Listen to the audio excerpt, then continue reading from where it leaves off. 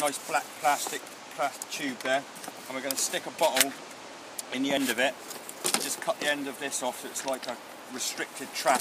Put some bait in the middle and then we're going to wedge this down in the rocks. Um, cut through this on the back of the knife on the coast hunter knife you've got the serrated point there which is a rope cutting section primarily. Um, when you want to cut rope under tension, especially if we're like anchored to something, we've got something fixed to the rocks and the tide's pulling it backwards, doesn't matter how sharp your knife is, it's very difficult to cut through a rope under tension, especially plastic rope, the rope just folds in on it. That's why we use the rope cutting section on the back. It's also handy when we want to abuse something like this and just cut through it because it's, it's literally straight through the plastic with that bit where you can imagine with a sharp knife trying to cut through it. So it's got multiple uses as far as that's concerned. So we've got a nice hidey hole there for the shellfish or crabs or prawns to hide in. And remember, they're trying to sort of hide from the, um, the seabirds and what predators that are trying to get down onto them. So we're going to put this underneath a rock.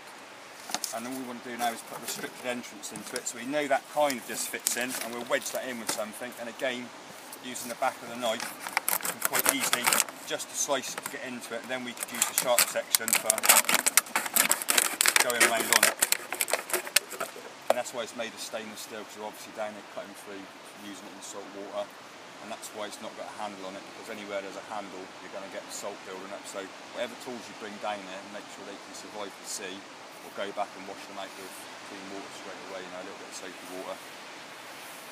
So we're going to fillet this flatfish and we're looking for two equal fillets and we're going to go straight down the lateral line down the middle of the fish like this. When we hit the bone we're going to stop and then trace the bone to take the fillet off. So it's literally just cutting straight down it in a line and you'll find that it hits the bone there. There's a central sort of ridge, a bit like the spine on it. And what happens is you're either going to go one side of it or the other. So when you run your finger down there, if you're lucky, I've gone straight on the middle, you'll feel the ridge of bone, okay? Then we just cut straight across the other side to the stomach and then we can start to take the first fillet off. Now remember, you've just got to keep close to the bone, so go in a little bit with your knife, elevating it until it starts to par back. And just using the tip and always making sure you can hear the bone. As long as you can hear the bone, you're not going to waste flesh. Worst thing that's going to happen, if you really mess it up, you can make a fish pie with it. And you can see that I'm just drawing and I'm pressing. Most of the pressure is with the tip of the knife onto the skeleton. And all I'm doing is using just this end section just to lift the fillet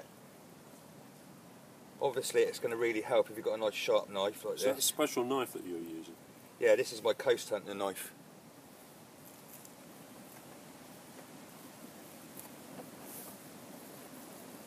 Demonstrating that not only can it be used for heavy work, but beautiful. And that's what I'm looking for. Wow, smoky.